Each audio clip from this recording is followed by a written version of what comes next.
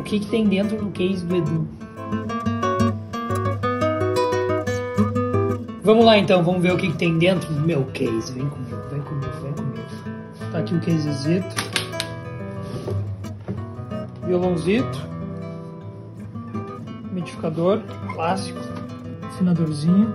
Adoro esse afinador. Aí eu tenho quando precisa tocar recital com amplificação, sei lá, que não tem microfone, tem só uma caixa de som. Aqui eu tenho um extensor do meu cabo, tenho um diapasão. Esse diapasão aqui é marra, totalmente, eu nunca uso aqui, é totalmente na marra. Uma lixinha de, de lixar mesmo, cortador de unha importante. Um caderninho para anotar coisa quando eu estou estudando, eu não gosto de mexer no celular. Máscara e sempre um joguinho de Agostini novo.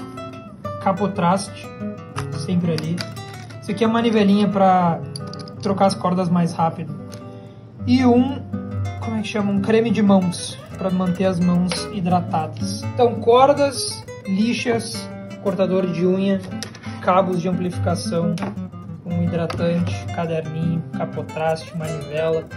E ali no violão, sempre o meu afinadorzinho, o umidificador. Isso é basicamente o que tem no meu case sempre, as coisas mais importantes.